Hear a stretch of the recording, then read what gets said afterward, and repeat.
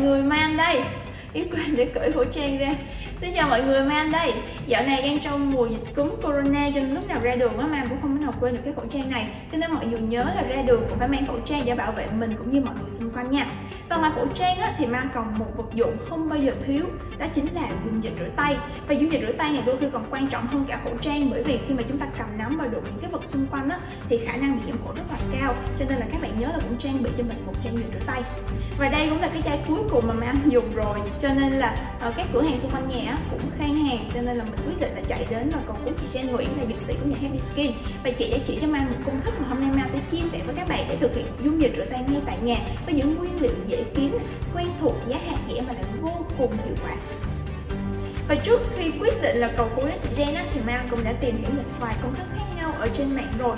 Nhưng mà xoay quanh các thành phần chỉ là nước nè, cồn nè, glycerin và một chút tinh dầu để tạo mùi hương. Thì Mang cảm thấy á, uh, cồn với lại tinh dầu thì cho là dễ kiếm nha. Nhưng mà cái glycerin nguyên chất mà dùng trong mỹ phẩm hoặc y tế thật ra cũng không có dễ kiếm mà chúng ta cũng không thể nào mua ngay được. Đặc biệt là sau Tết nhiều khi người ta còn chưa bán nữa cho nên là quyết định là Mai đã cầu cứu anh chị Jen để có được một công thức mà mọi người có thể làm ngay sau khi coi video này. À, mà xíu quên trước khi mà chúng ta bắt đầu phần giới thiệu thành phần á thì Mai Anh sẽ chia sẻ một xíu về các sản phẩm dung dịch rửa tay hiện có trên thị trường thì ví dụ như cái sản phẩm đang cầm trên tay của mấy Anh này thì nó sẽ thường chứa các thành phần như sau, thứ nhất là cồn. Theo mấy Anh ước thì tầm từ 60 cho tới 90 độ, được pha loãng một chút nước, một chút hương liệu và một xíu siêu chất dưỡng ẩm.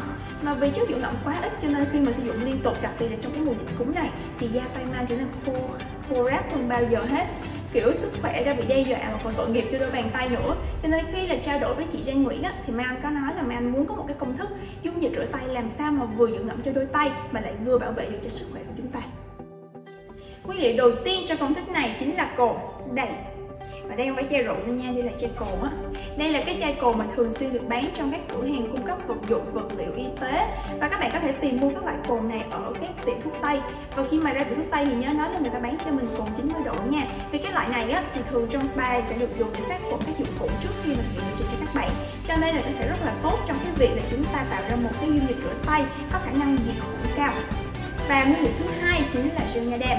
Em này thì rất là dễ kiếm mua thôi. Các bạn có thể mua ở Guardian nè siêu thị nè Family Mart nè Circle cây nè thậm chí là ở chợ có thể cũng có nữa. Và trên tay May Anh là cái loại chuyên dụng trong spa giúp đi làm dịu và cấp ẩm cho khách hàng dùng tại spa. Và nguyên liệu thứ ba chính là em dung dịch dưỡng ẩm Hydalabo bạn này thì optional thôi nếu mà có thì rất là tốt còn không có thì cũng không sao nha. Nhưng mà cá nhân Mai nó cảm thấy khi mà cho các bạn này vào cái sản phẩm dung dịch rửa tay á, thì cái độ dưỡng ẩm trên da tay sẽ được kéo dài lâu hơn và đối với công thức này thì các bạn có thể hoàn toàn linh hoạt trong việc gia giảm hai cái thành phần dưỡng ẩm này. Tại vì thật ra da mỗi người mỗi khác thôi à. ví dụ như da tay mang rất là khô và có những bạn da tay rất là mềm mại, cho nên các bạn có thể sẽ cảm thấy không thoải mái với cái công thức quá dưỡng ẩm như hiện nay. Thì các bạn có thể gia giảm cái liều lượng của hai em này hoặc cắt một trong hai em luôn và tăng cái lượng cồn này lên. Nhưng mà tuyệt đối nhớ nha, các bạn hoàn toàn có thể tăng lượng cồn lên nhưng không được tăng cái hàm lượng dưỡng ẩm cao lên. Tại vì khi đó khi mà hàm lượng cồn giảm xuống, bằng nghĩa với lại việc là cái giảm xuống thì tỷ lệ mà bảo vệ của chúng ta sẽ thấp đi đó. Về nguyên tắc thì chúng ta sẽ sử dụng những dụng cụ sạch để thực hiện công thức này, nhưng mà không cần tới mức vô khuẩn như là thực hiện các sản phẩm da qua dưỡng da đâu, bởi vì bản chất cồn đã là một chất diệt khuẩn rồi và bản chất cồn cũng là một chất bảo quản luôn, cho nên là đã có khả năng diệt khuẩn, diệt nấm, cho nên các bạn có thể thấy là ở đây mang không hề có một chất cồn nào hết. Đầu tiên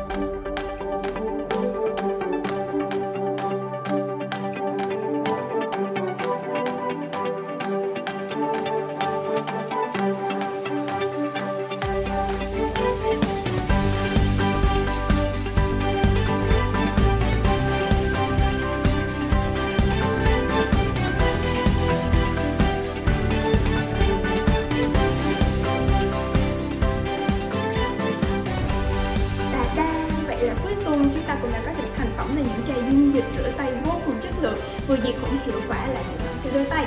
Và các bạn nhớ là trong mùa dịch cúm corona này thì đừng quên combo khẩu trang và dung dịch rửa tay nha.